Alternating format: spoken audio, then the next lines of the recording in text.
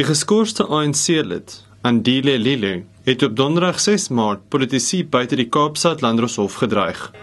Hy was daar om 10 beskuldiges te ondersteun wat tydens laasweek se betogings in hegtenis geneem is. those who are poor, who are fighting for a justice, who are fighting for a land, who are fighting for a peace, because we believe there can never be a peace without a land for housing development.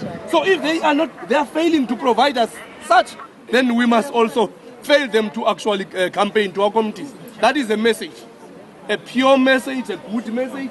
Really, we don't have resources to hire the policemen or uh, securities, but we will protect our houses from the criminals because we regard them as criminals who actually using all the resources that they have to deny other people's rights.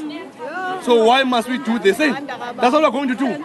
We're not going to bother ourselves to come to town anymore. All what we're going to do, we're going to block them from our houses. No one will come to our communities if we are not allowed to come to town. That is our message. Yes. We don't give a f- for them.